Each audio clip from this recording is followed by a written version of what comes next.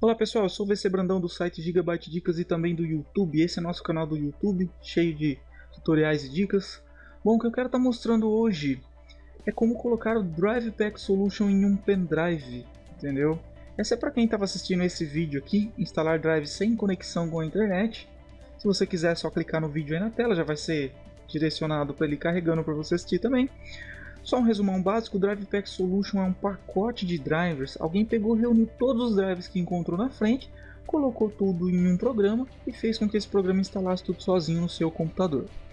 Bom, a diferença desse programa é que ele não vai fazer a pesquisa na internet. Uma vez baixado, ele fica gravado num DVD, num CD, no que você quiser, e quando precisar é só rodar na máquina em questão.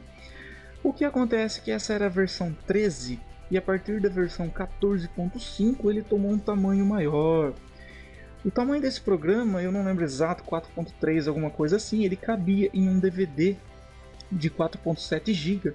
Só que agora ele aumentou, foi para um 7 GB, alguma coisa assim, não tenho certeza agora quanto ao tamanho, mas enfim, ele ficou bem maior, não cabe mais em um DVD de 4.7 GB.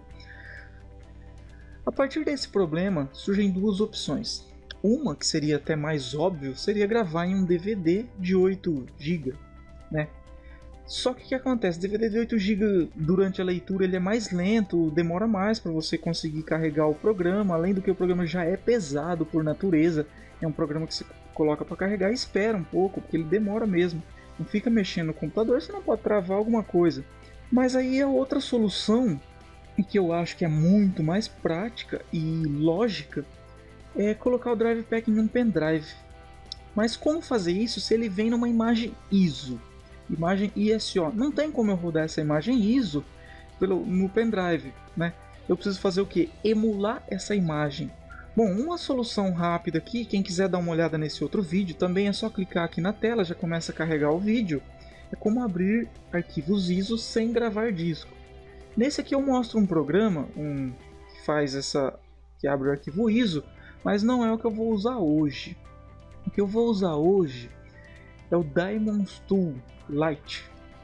Para quem quiser baixar o programa, tá aqui no site gigabytedicas.com. Só recomendo que acompanhe o tutorial até o fim para você saber como que vai funcionar. Bom, vem aqui em gigabytedicas.com, uh, ah, procura pelo Diamonds Tool. Todos os links meus têm o, o encurtador de link, que é adf.ly, tá? ADF.ly você é redirecionado para uma tela que normalmente tem uma propaganda enorme aqui, você ignora essa propaganda, só fica de olho nesse canto. Deu os 5 segundos, clica em fechar propaganda, já vai direto para o site de download. Geralmente meus downloads são todos do site oficial, tá? Do site do, do fabricante do programa. Tá? Chegou aqui, você procura por baixar. Aqui embaixo, clica para baixar. O Diamond Tool ele é pequeno, tá? 12 MB, tá? como você pode ver aqui, ó mostrar todos os downloads tá aqui. Ele é pequenininho, 12 MB, eu já baixei, já tenho ele aqui, estou enjoado dele já. Eu vou instalar ele só pra gente acompanhar. Diamond Tool Lite, tá aqui. Bom, dá o duplo clique, meu tá até instalado já, mas eu vou reinstalar em cima só para mostrar para vocês. No duplo clique ele abre essa janela, clica em próximo, eu já tenho instalado, né? Então eu vou selecionar reinstalar, mas o seu caso é instalação comum. Tá? Só vou reinstalar para mostrar algumas peculiaridades para você. Ele está reinstalando, desinstalando, né? Como eu disse, porque eu tenho outro. Bom, aqui é o contrato, o termo de licença, né? Clique em aceito. Aqui você tem que selecionar a licença gratuita, tá? Que é uma licença para uso pessoal, senão a outra você tem que ter a chave, você tem que comprar. Eu deixo tudo marcado do jeitinho que tá, clique em próximo.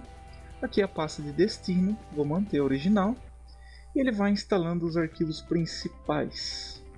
Acontece, não sei se vai acontecer, ele falar que está instalando um driver que não é, é, certificado pela Microsoft e você tem que autorizar. Você autoriza, tá? Não é certificado pela Microsoft porque é um drive virtual, não é um aparelho real. Já eu mostro para vocês como funciona. Aí, ó, como você pode ver, está instalando o drive do dispositivo, CD-ROM, o software drive foi instalado com Easy. Aqui ele pergunta se você deseja instalar um Gadget, que é um, para ficar aqui na área de trabalho, eu não vou instalar não, tá? Se também não instala, você não fica aqui no canto igual aquele reloginho de CPU, essas coisas. Executar Daemons to Light. Fechar. Tá aqui. Verificação de licença, pronto. Licença gratuita. Bom, pronto. Agora eu quero mostrar para você como você usa o Diamond Tool. Como você faz para rodar o Drive Pack Solution no pendrive.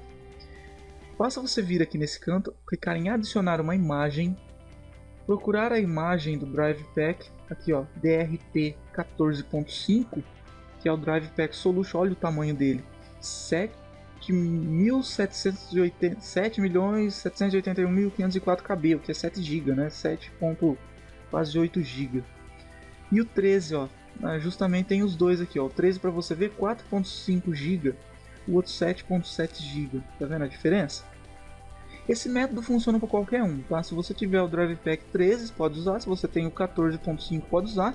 E se você tem um que é acima do 14.5, que ainda nem foi lançado, eu não sei, mas desde que ele seja uma imagem .iso, o que é uma imagem ISO? É o arquivo .iso que você baixa ele não te dá um executável quando você baixa ele do site, ele te dá um arquivo ISO, que é uma imagem para gravar no CD, mas a gente não vai gravar no CD. Qualquer um que seja as próximas versões que lançar, que tiverem um tamanho, né, que não não tá cabendo numa mídia, não dá para pôr num DVD. Então eu quero usar na USB, é esse o jeito que você faz, tá? Sempre por esse método selecionar o Drive Pack 14.5 e clicar em abrir. Bom, feito isso, a imagem já veio parar aqui. Bom, ela estando aqui no catálogo de imagens, é só você dar o play. O play seria o que? Montar, seria como se eu inserisse um CD nessa unidade e, que ele criou para mim. Agora ele está montando a imagem, tá vendo a reprodução automática? Abriu normalmente a reprodução automática. Eu clico abrir pasta para exibir arquivos. Tá aqui, ó. Esse é o conteúdo real do CD do Drive Pack Solution ok? Esse é o conteúdo escondido dentro do CD. Agora o que, que eu faço? Eu tenho um pendrive já conectado, vou apagar tudo que tem dentro dele. Venho aqui, copio todo o conteúdo e envio para o pendrive. Bom, como é, são 7 GB, vai demorar um pouquinho, tá? Ainda mais que minha USB aqui é 2.0, não é, não é USB 3.0 vai demorar um pouquinho.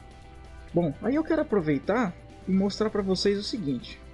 O Drive Pack Solution estando na situação que ele está agora, que eu montei a imagem, eu já posso rodar ele nesse computador, tá? O que eu estou fazendo é passando ele para um pendrive, para mim carregar esse pendrive e levar para o outro computador. Né? A título de, de curiosidade, deixa eu mostrar aqui, ó. Tá vendo em meu computador? Essa daqui esse removível J é o pendrive que eu estou copiando os arquivos para ele.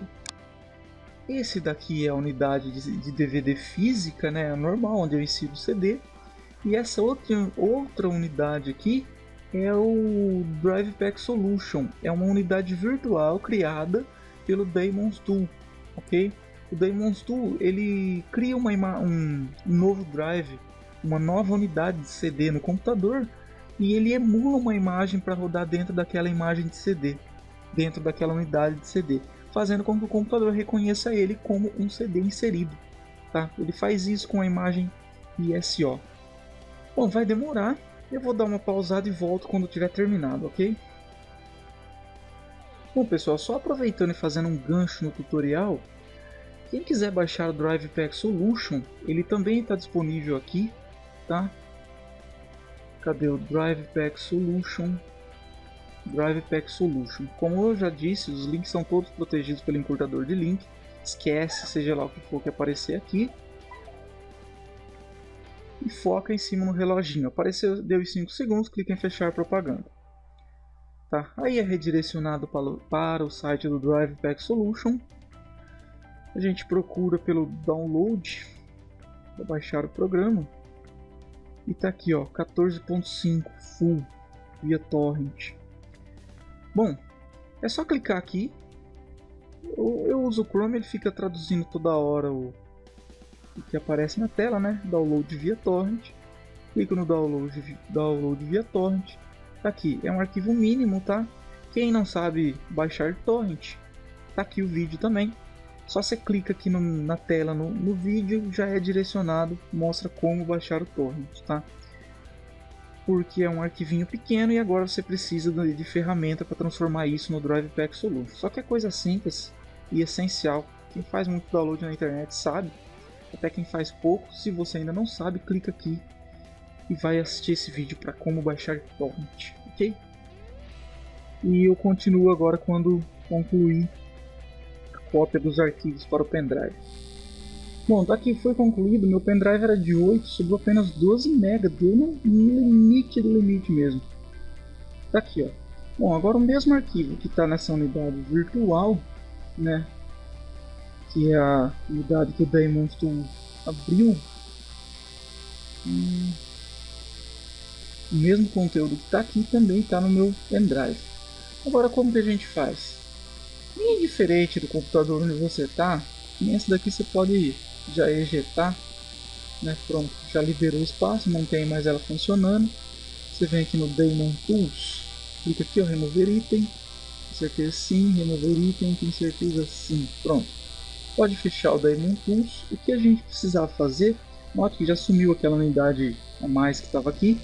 O que a gente precisa fazer agora para rodar o Drive Pack Solution é simplesmente vir aqui e dar um duplo clique no ícone dele. Dá o duplo clique no ícone dele dentro do pendrive, seja em qual computador você estiver usando, e aguarda um minutinho para ele carregar o programa. Entendeu? É só isso daí. O programa já vai carregar. Como eu já falei, por ele ser muito grande, ele demora um pouquinho. Então a gente tem que esperar. Bom, pessoal, o que eu queria mostrar para vocês era como usava o Drive Pack Solution num pendrive.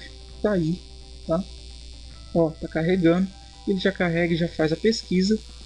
Só lembrando para você, se não sabe o que, que é isso, não sabe como usar essa pesquisa agora, aí na tela tá o link do programa, do, do vídeo ensinando como usar essa pesquisa. Tá vendo? Ele já encontrou drives, ó. Dois drives que precisam ser atualizados. Eu tô clicando aqui, mas não vou atualizar. É o webcam e o som. Não vou atualizar agora, só queria mostrar isso para vocês.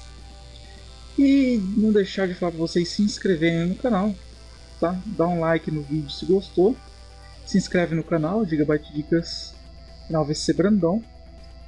Então no, no Facebook, dá uma olhada no Facebook também, ok?